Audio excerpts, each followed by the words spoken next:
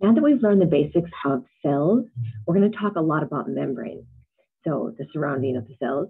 Um, this is going to be the rest of this week, and it's going to be basics of membranes, the phospholipid bilayer, the proteins in the membrane, and then transport mechanisms. So how do we get things in and out of the cell when we need to through that selective barrier?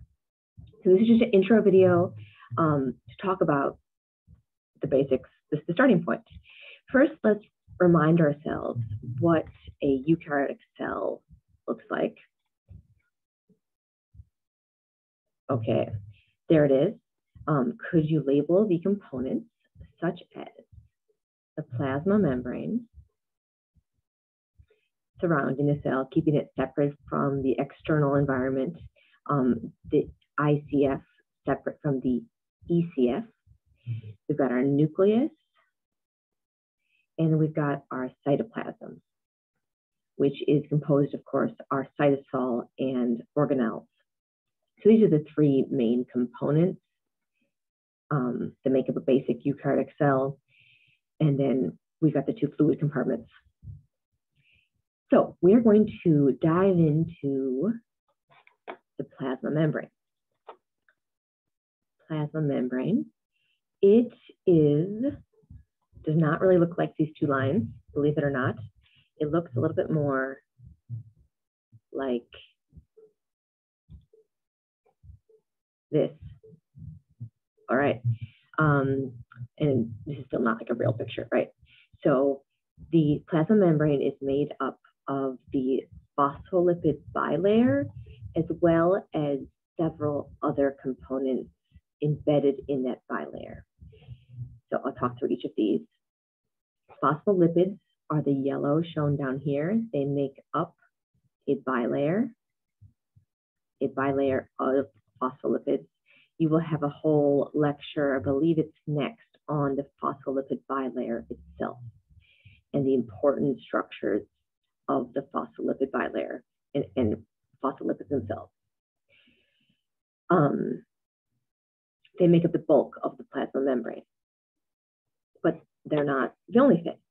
So besides that, there are there, there is coded um, a precursor to all the steroids there, but rigidity in the cell membrane versus rigid the cell membrane is. We won't talk about cholesterol much more in the cell membrane. Okay, then we have proteins. They are very important. Proteins are purple blobs shown here. They're not really blobs in real life. Um, I'll go over a couple of general types on the next slide, and then we'll talk a lot about the proteins because that's like determines the function of the plasma membrane, which it actually has functions, determines what it can do, what it can communicate it, what it can let in. Most of them, as you can see, span the entire membrane. There's some that are on the edges as well. These span the whole entire carbohydrate chains that form uh, glycocalyx, which is a fuzzy coat that the ID tags. That's really what it is. Um, identify self from non-self protection, that literally is fuzzy protection, and cell adhesion. So these glycocalyx cells can bind to adhere to other cells. Um, don't talk a ton about those, um, but also really you they're very um, important also for transplant blood donation um, compatibility, which we'll talk about a, a little bit. So the most important are those membrane proteins. So let's look at a few here, like receptors. So here there's a chemical messenger. Another word for chemical messenger is signaling. Um, this means it's something that bind, right, to some specific. This example here, this is going to create some signal. Transduction is, is what that is. This one is an enzyme. So similar idea. There's a chemical messenger that is interacting with this protein. But in this case, we've got a breakdown of that product that's what enzymes do, right? Um, so it's otherwise similar to receptors, and we won't see them as much in this class, but clearly very important. These two proteins here are both channels. That means that they allow types of ions. The difference between these two, what do you think? What does it look like? Well, this one's just open. This one here is united. It's just open all the time. This one is gated. It's a gated channel. And we'll talk more about different types of gates, meaning different stimuli for it could either be um, a ligand binding, electrical changes, mechanical changes that cause that gate to open. It's going to be pretty important. Um, related to channels is carrier proteins. So for glucose, we will see this. It's similar to a channel, but it functions very slightly differently. You can almost put it in the same box in your head because it's going to allow for passive transport. Spoilers, um, meaning that different, allow the difference between them. But yeah.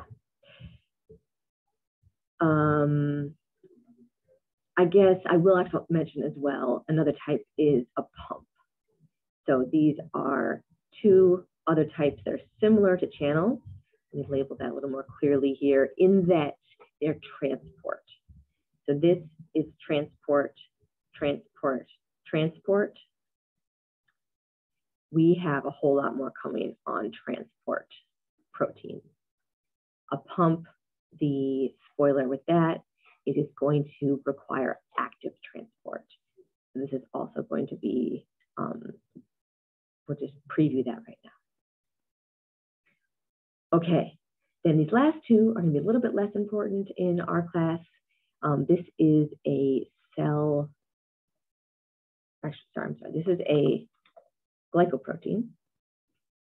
So you saw these go in the previous lecture, um, those cell identity markers that are the carbohydrate chains that are distinguishing, distinguishing one cell from another.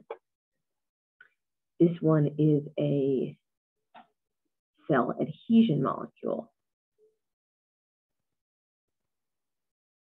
That's, that's this right here. So it's binding to another cell. So those are both um, types of glycoprotein that have two different functions, just seeing them in action. Definitely, going to circle here, the most important is going to be our receptors. And by I say most important, I mean for this class, right? I'm not, I'm not trying to say what's the most important in biology overall. Receptors will be important, and the rest of this week will be focused on um, different types of transport proteins, getting things in and out of the cell. Okay, we're to do first learning check here. In just a moment here, it's going to show up. I want you to look at the different types of proteins and tell me each of these proteins, different types. We've got membrane proteins like we just saw on the last slide, but we've got other proteins too. Each of these proteins is encoded by a section of what? This is review from the previous lecture on um, gene expression.